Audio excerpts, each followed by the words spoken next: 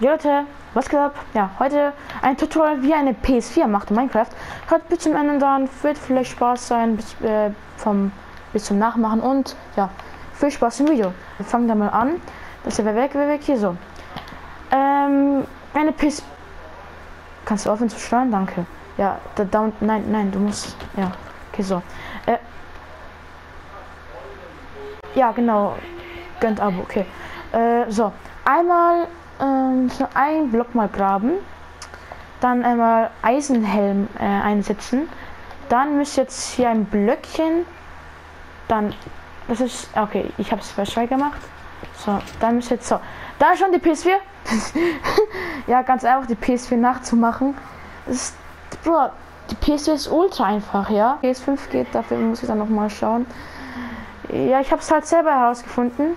Ihr könnt dann halt auch im Fernsehen machen, wie ich. Ich habe halt hier ein Fernsehen gemacht.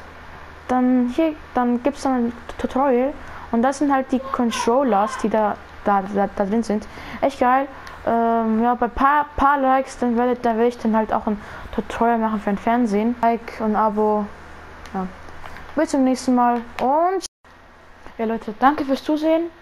Freue mich, dass ihr bis zum Ende geguckt habt und könnt ein like, like und Abo da. Würden mich freuen für eine Unterstützung. Und wir sehen uns im nächsten Video. Ciao, ciao, Leute.